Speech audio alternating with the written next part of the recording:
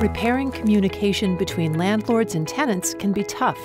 The new Landlord Tenant Mediation Program through the Vermont Landlord Association can help resolve disputes and increase stability during this stressful time.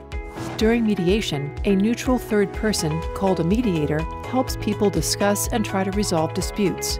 Whether it's lease violations, rent payment issues, conflict around landlord apartment entry, or other issues, mediation has a high success rate for resolution between willing parties.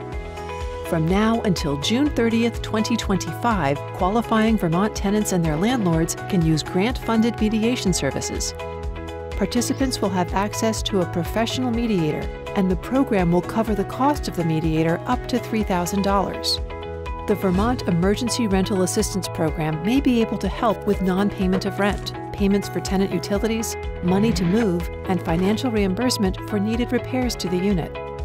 Landlords may apply at any time. However, approval for the program depends on tenant participation and Vermont Emergency Rental Assistance Program or REACH Up ERA qualification. Landlord applications can be found on the mediation page on the Vermont Landlord Association website and can be completed and submitted online. The Landlord Association will provide tenant information to Vermont Legal Aid for assistance in obtaining a tenant referral form for the program if no tenant application has been received by the program.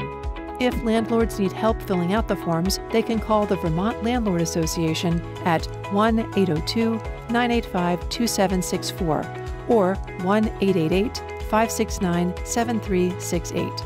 All decisions will be made within approximately seven days of completed application which is when both the tenant referral form and landlord application has been submitted.